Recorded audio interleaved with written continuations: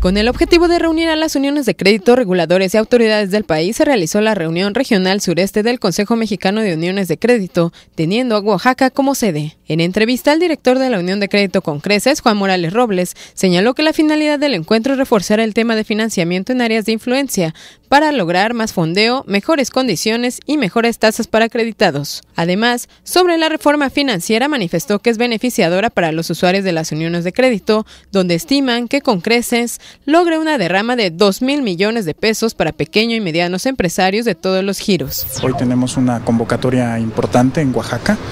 Fue seleccionado como sede por el trabajo que se ha estado haciendo básicamente en el, en el, sureste. Muy favorecedora porque hay la instrucción desde el gobierno federal y Hacienda de ministrar los más recursos posibles a través de sus desarrolladores o de sus bancas de desarrollo. Eh, esto es eh, Financiera Nacional, por ejemplo, FIRA, FIFOMI, NAFIN.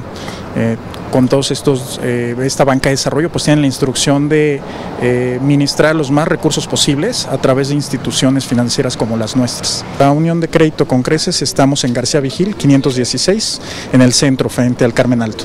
Señaló que la meta es de 2 a 3 mil acreditados con montos variables según las necesidades, donde se otorga desde 100 mil pesos por empresario. Con imágenes de José Antonio Reyes para MBM Televisión, informó Metzli Beltrán.